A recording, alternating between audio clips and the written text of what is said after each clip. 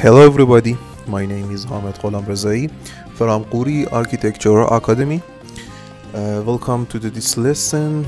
In this part of the tutorial, we will compare V-Ray and Thea rendering engines for SketchUp. Before we compare these two powerful rendering engines released for SketchUp, let me explain the screen. On the left side, we have the result of the V-Ray rendering. And on the right side, we have the result of the Thea rendering engine. All the results you see are from the courses of Ghoori Architecture Academy. Many people ask us this question, which rendering engine is more suitable for SketchUp, Thea render or V-Ray? Well, uh, the first thing is that both rendering engines are added to SketchUp software as a plugin.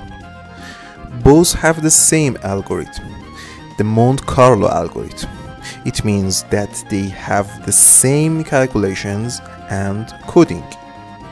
These calculations are done by your computer's CPU.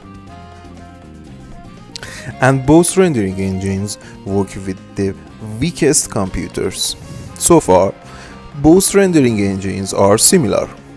The main difference between these two rendering engines, uh, rendering engines, uh, is their features. V-Ray has more features than Thea render. But what do you mean by more facilities or features?